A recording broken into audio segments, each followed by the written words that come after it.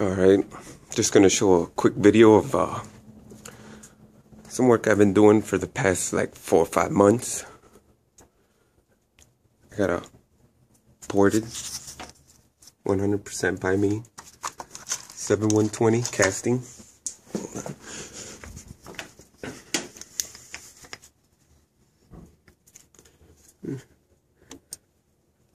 It got covered up, but it's a 7120.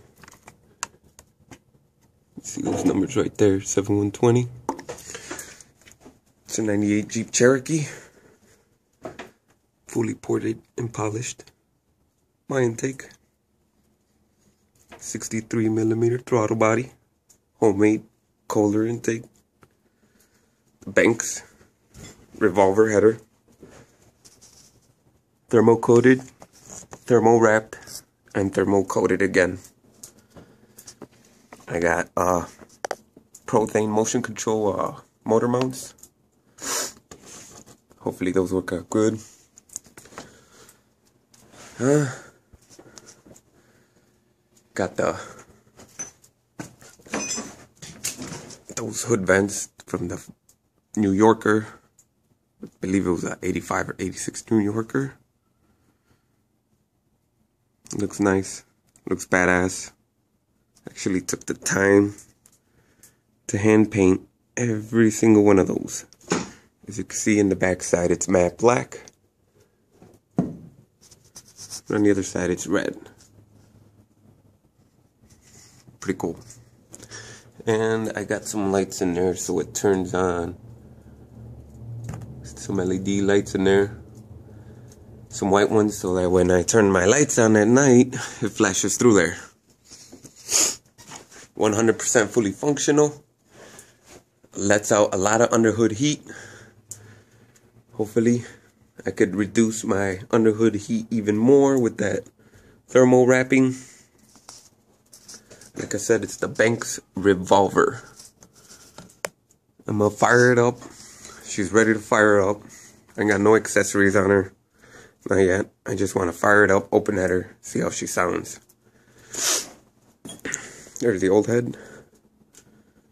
There's nothing wrong with it. It's just on the quest for more horsepower. More horsepower and, of course, more torque. Well, fire in the hole.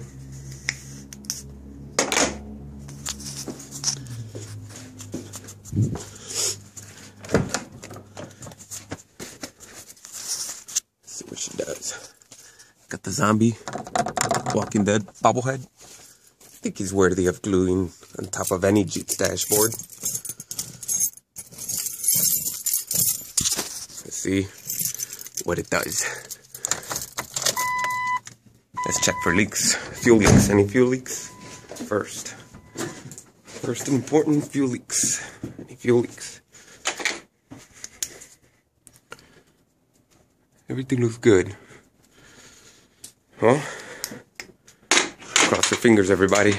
This is the first fire up after fully ported head with the Mopar Performance head gasket, and it's also the head's also been machined. 10 thousandths of an inch. So let's see what she does. Here we go.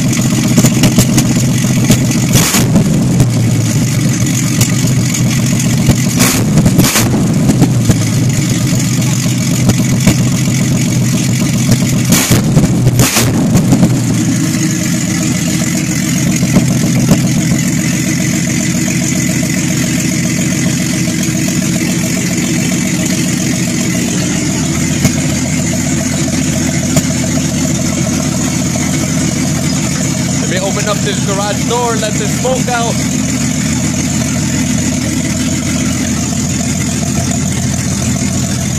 That's my brother's 89 Pontiac Firebird, trying to restore from the ground up.